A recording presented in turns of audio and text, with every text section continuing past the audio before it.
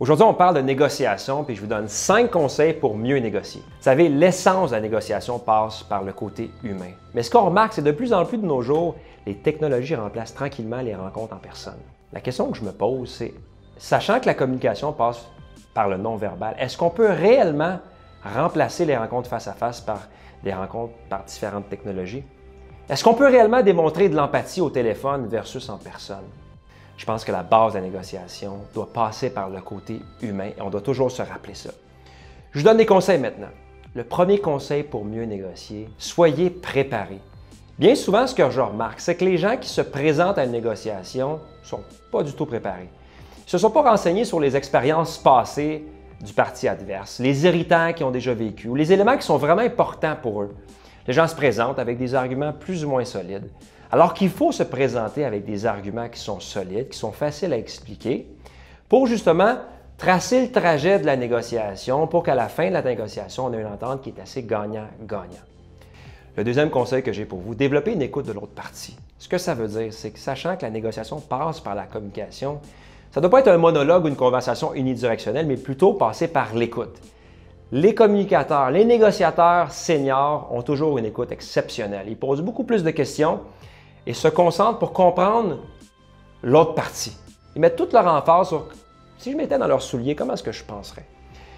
Et puis ce que ça fait tranquillement, c'est que ça établit un climat de confiance et puis ça l'aide à finaliser une entente gagnant-gagnant à la fin.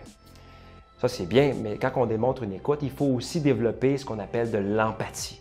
Non seulement on écoute, mais on est sensible à ce que l'autre partie a vécu, d'où ils viennent. Parce que ce qu'on se rend compte, c'est que les négociateurs, souvent, font face à des positions qui sont diamétralement opposées. Et pour réussir à rejoindre les gens dans un milieu, il faut obligatoirement que les gens soient à l'écoute, mais soient sensibles aux arguments des autres et soient prêts à les écouter.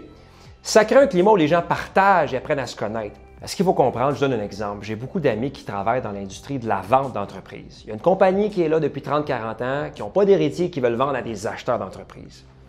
L'empathie, c'est quoi? Les acheteurs prennent le temps de comprendre, d'être sensibles au fait que les propriétaires c'est un deuil qu'ils doivent faire. Donc, il y a des positions qui sont diamétralement opposées au niveau de qu'est-ce que les gens sont prêts à payer et ce qu'ils sont prêts à vendre. Pour réunir ces positions-là, il faut que la personne qui vend se rende compte que la personne de l'autre côté est sensible à ses arguments. Plus elle est sensible, plus cette personne-là va être ouverte à communiquer, à partager des arguments et tranquillement, pas vite, ce qu'on va se rendre compte, c'est que les gens vont se réunir dans le milieu. Donc, l'important, c'est d'être sensible aux mots, aux émotions que les gens vivent et de les écouter, de les laisser parler. Et tranquillement, pas vite, ce que ça fait, ça crée un climat où il y a de la confiance, il y a du respect. Puis encore une fois, on se dirige vers la finalisation d'une entente entre deux parties qui au départ avaient des positions diamétralement opposées. Le prochain euh, conseil que j'ai pour vous, très simple. Soyez attentif au langage non verbal parce que les mots disent une chose, mais le langage le plus important, le non verbal, constitue l'essence du message. Les yeux, le ton de voix, les mains, bien souvent nous donnent exactement l'écran sur les émotions que la personne vit maintenant. Donc, si vous regardez, si vos capteurs sont allumés, vous regardez la personne qui est devant vous, vous allez pouvoir peut-être calibrer, ajuster votre message. Si vous voyez que la personne a un blocage, vous pouvez ralentir, pouvez calibrer vos arguments. Tout ça en vous basant sur le non-verbal. Donc, très important d'être à l'écoute du verbal, mais de vous baser aussi sur les signes que la personne qui est devant vous vous lance avec tout ce qui est non-verbal. En terminant, le cinquième conseil que j'ai pour vous qui touche la négociation. Maintenant que vous avez une bonne écoute du langage non verbal, euh, cherchez à créer un résultat qui est avantageux pour les deux parties. Avez-vous déjà fait affaire avec une personne qui tirait la couverte de son côté? Je suis pas mal certain que vous n'aviez pas le goût de faire affaire avec cette personne-là dans le futur. Donc, ce qui doit être fait pour assurer une bonne relation à long terme, c'est de s'assurer que de chaque côté, les gens tirent leur épingle du jeu, qu'ils sont satisfaits de l'entente. Bien souvent, les gens veulent avoir un meilleur prix. Moi, je veux un bon prix.